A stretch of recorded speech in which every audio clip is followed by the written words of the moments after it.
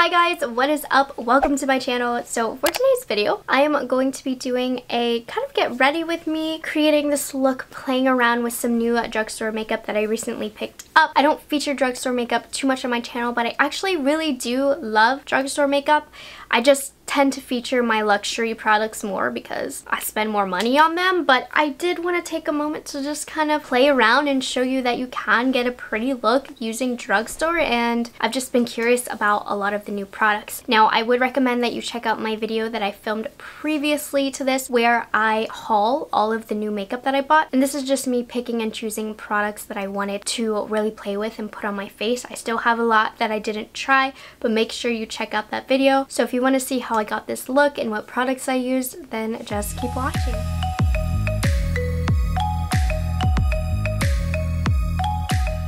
So on my face right now, I only have moisturizer on, so I am starting off with a pretty clean canvas. And for primer today, I'm going to try the new e.l.f. Poreless Putty Primer. Now this isn't a new new primer, but it's new to me. I know it's supposed to be like the Tatcha Canvas Silk. However, I'm actually like, I couldn't get into that and I would go back and retry it if I could, but I did get rid of it. But I felt the need to give something of the same nature a try and this was much sheerer. So I got the Universal Sheer Shade and this is the original. So I'm just gonna rub my fingers through and we're gonna put this right here. It's been a really really long time since I used the Tatcha Canvas Silk. That's why I want to try it again. I need to know what I'm missing out on. Ooh, when you really dig in there and warm up the product, starts to get messy. Also, I feel like I've been noticing my pores more lately, so maybe now I will understand more. Okay, so I'm just gonna put that in my T-zone. Obviously, my face gets red when I rub it. My skin feels nice, and that actually was kind of hydrating. So, so far, like that feels good. Now in this haul, I picked up three different foundations, but the one I'm most interested in trying today is the Wet n Wild Photo Focus Foundation. This is the dewy version. Now, my opinions on the matte version, or the original, I guess, I did not like that foundation. I thought that it looked good in photography. So I would use it for my makeup looks on Instagram, but that's it. I felt like in person it just looked really thick and cakey and I didn't like how it looked in person so I ended up decluttering it. So I love dewy foundations. I have more normal to dry skin. So this is the shade soft beige by the way. Looks like it might be a touch too light but it's going to be a decent color a little bit yellow. I like the applicator. I know people are like, it's unsanitary, which, I mean, it is, but whatever as long as you're only using it on yourself. So it um, looks like I'm getting a pretty light coverage with this foundation on initial blend. So just with what I did, pretty light coverage. See if I can build it up. It feels like it's a pretty watery foundation. So yeah, I'm not really getting too much build on this coverage. So I think I'm going to stop there. So the finish itself looks pretty nice. I wouldn't say I'm loving how this foundation is looking. I feel like it doesn't have too much coverage, which is fine. I don't care about a light coverage. But for some reason, I thought it would have more because the matte one definitely had more. And I feel like the more I kind of dab, it almost takes off the product. So I don't know if that needs to settle down or... But I don't think it looks bad. Like it looks decent. We'll see how I feel as it kind of settles into the skin more. We're gonna move on to the e.l.f. Hydrating Camo Concealer. I got mine in the shade Medium Sand, which might be a bit dark on me, but I don't really like concealers that are too light. And again, this is a hydrating or more dewy version of their original. And I own the original, but I never really got too much use out of it. Yeah, this one might be like a shade darker than I normally prefer, but this could be good for spot concealing. That kind of blended out really, really nice. It's a little bit more thick as well, which I like. I'm going to put some on my nose because this foundation does not seem to want to stick to my nose for some reason. I don't know. I don't know about that foundation. So what I'm going to do is I'm going to go off camera, I'm going to quickly do my eyebrows, and then I'm going to set my face with the Maybelline Fit Me Loose Setting Powder. That's one of my favorite drugstore setting powders. Honestly, one of my favorite powders of all time. It just happens to be from the drugstore, and I'll be back. So I'm back, I filled in my eyebrows, and I actually used the Wet n Wild Mega Glow Contour Stick in Oaks on You just as kind of a cream contour. It's a pretty good cream contour if you're looking for something from the drugstore. This particular shade's a bit warm, but I kind of like that. So now I want to move on to eyes. So I actually have quite a few palettes to play around with. This is going to be a super hard choice because I have this Milani palette. I have three of these little bite-sized e.l.f. palettes. Physician Formula, this palette is beautiful. And then I have these. Hmm. I can't help myself. I need to play with this Milani palette. This is the Milani Most Wanted eyeshadow palette in Outlaw Olive. Y'all know how I am about greens. I'm super duper excited to play around with that. So I'm going to put just a little bit more concealer on. And side note, I'm not really loving the look of this foundation. I can really see the redness through my cheeks and I don't know, something about it just seems uneven as far as coverage goes. But of course, this is a first impression, so I have to continue continue playing around with that foundation. But eyelids are ready. So what eye brushes are we going to use today? I'm going to start off with this, this Blinged Brush E12. I'm going to quickly go into this light shade right here. Now I will say I'm not a big drugstore eyeshadow person. It's pretty rare that I pick up drugstore eyeshadows unless it's ColourPop. And these have the same texture of drugstore eyeshadows that I don't really like, but maybe these will surprise me. But I just use that to kind of set underneath the brow. And now we're going to start off with this color right here. I have to say there is no like really good transition shades. It's like kind of dark, so maybe it'll apply lightly. No, it's not. This is quite brown and pigmented, okay. So we're going to start working this. It's actually blending quite easily. Okay. Gotta admit, not sure if that just blended really good or if it just blended away. Um, as you can see, there's not too much color down, but that was very, very easy. So we're to go into this darker green shade right here since this is an olive palette. And I'm not getting too much fallout, but I also am very light-handed when it comes to makeup. Ooh, I'm liking this. Probably should have picked a different color shirt if I was going to use this palette. I Probably should have used a smaller brush too. This is getting muddy. Okay, so now that I've laid this color down, I'm going to go in with a little bit more of a precise brush. This is the Rephr number one brush. I'm going to try and blend this out a bit more precise. So something is not exactly happening that I love. So when you blend out this shadow, I don't know if you can see, but it kind of turns a little bit gray. And then over here, we do have a little bit of unevenness. But honestly though, like it's not bad. I'm pretty biased when it comes to drugstore shadows. I just don't really like them, so I don't think this is doing a bad job. But I am extra picky when it comes to eyeshadows, so this might just be a me problem. I mean, it's not a perfect blend, and it's not the most amazing eyeshadow in the world, but it got the job done, and the green is holding decently, so I'm not mad at it. So now we're to play with these colors right here. So I'm to start off with this color. Don't really love how it feels by swatch, but I haven't even swatched these on the arm just gonna press this down right here. Ooh, that's actually super pretty. The only thing I would worry about with this shadow, just kind of feeling the texture is maybe wear time or fallout throughout the day of these shimmers. Gotta admit though, that's really pretty. Okay, now we're gonna do this color right here. This is like the standout shade in this palette. Ooh. I think I'm being too hard on this palette. For drugstore, pretty impressed actually. So I feel like if I used this wet as far as the shimmers go, that is when this palette would really stand out. But I'm a huge proponent of like not needing to wet the shadows to make them good. That they should just be good on their own, but this I'm not mad at. I'm really not. Just to give this shadow a shot, I'm just gonna put that right here. This shade's a little bit more gold. And I'm going to kind of build up this crease a little bit for some smokiness. One thing I can kind of tell that you need to be careful about with these shadows is building and blending them too much because they can kind of blend away. So just be careful with that. But if you use a light hand with application and you're very gentle and you take your time, you're not just throwing it on. This is actually not a bad palette from the drugstore and the colors that they offer are really pretty. This one, Outlaw Olive, I'm really liking. Now, I think wear time may be an issue with it, just kind of feeling the formula, but we're gonna move on to the rest of the face. So I have a couple cream blush options. They're both very, very pink, which I don't think is exactly flattering for this look. Maybe we won't use cream blush. We're gonna use powder blush and a cream highlighter.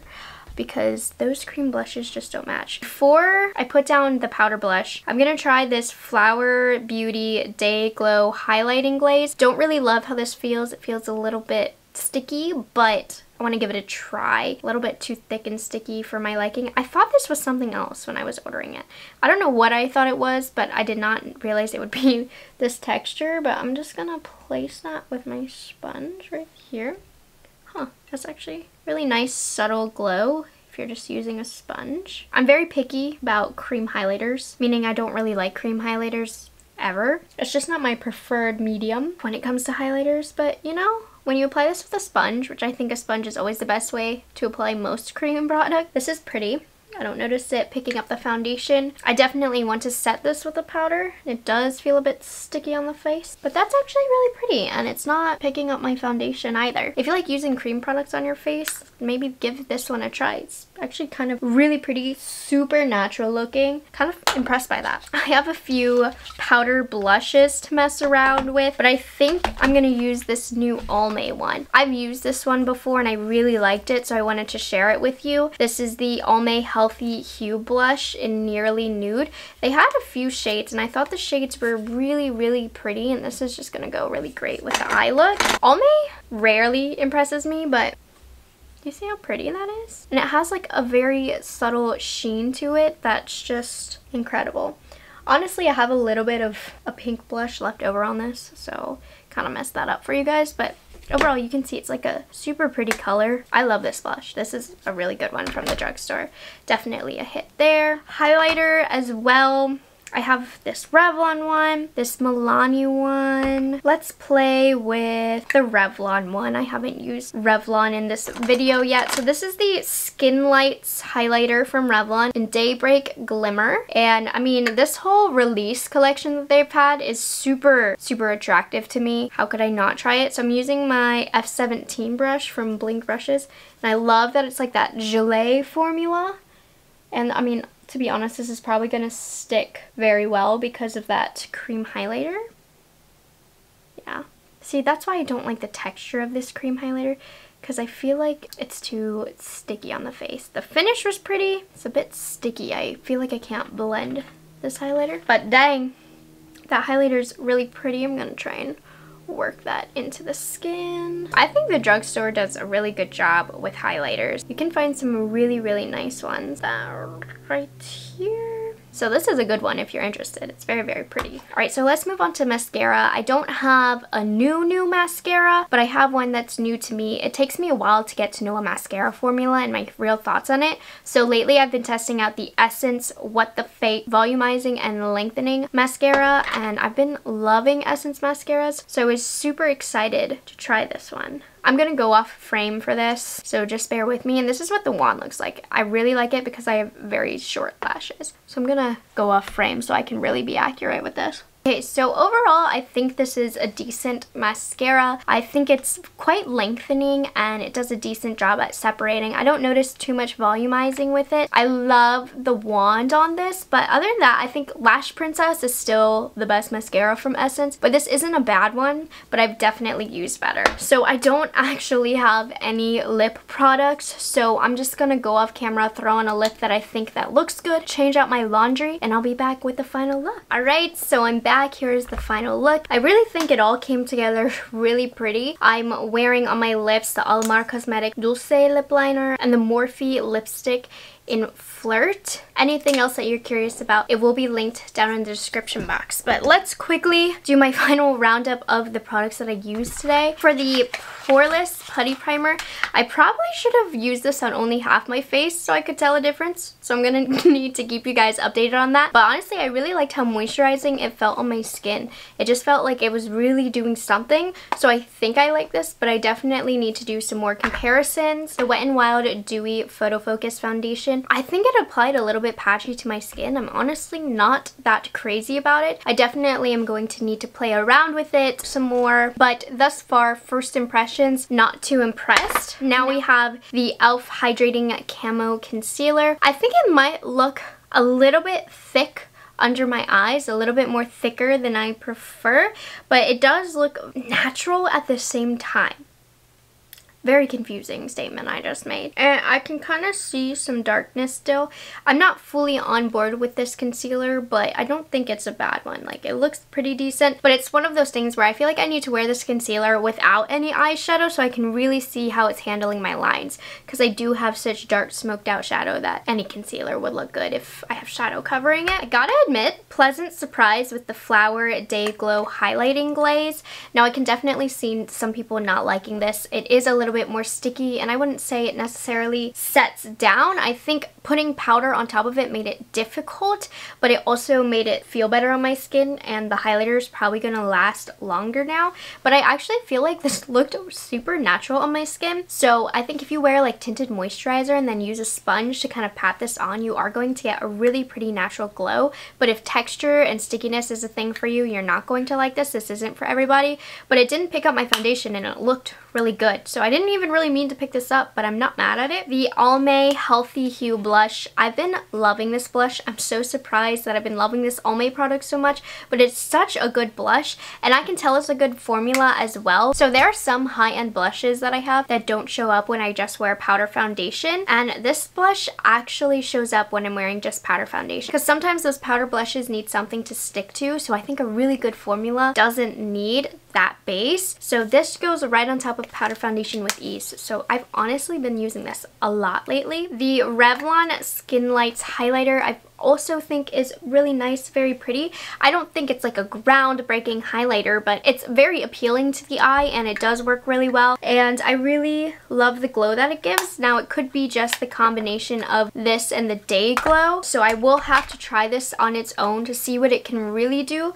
It does seem a little bit subtle, but it's not glittery or chunky at all and it's quite smooth on the face. So I'm liking this as well. And then the Milani Outlaw Olive Eyeshadow Palette. It's not the best eyeshadow palette that I've ever used, but I did get a really pretty end product. Like, it's a gorgeous look that I managed to make with this palette, but I definitely think you need to have some patience, and I need to update you on wear time because I am worried about that. Just coming from reviewing Natasha Denona Charlotte Tilbury eyeshadows on the regular, it's a pretty hard adjustment to go to this, but I mean, for the price, like this is super pretty. I'm just personally not a fan of drugstore eyeshadows and this does have drugstore eyeshadow tendencies that I don't really care for. But you can still get a really pretty look, especially if you just want something with these colors and you don't want to spend a lot of money, like this is a great way to go. Finally, the Essence What the Fake Mascara is an okay mascara. If you're gonna go with Essence, definitely pick up their Lash Princess mascara, but still, it's okay.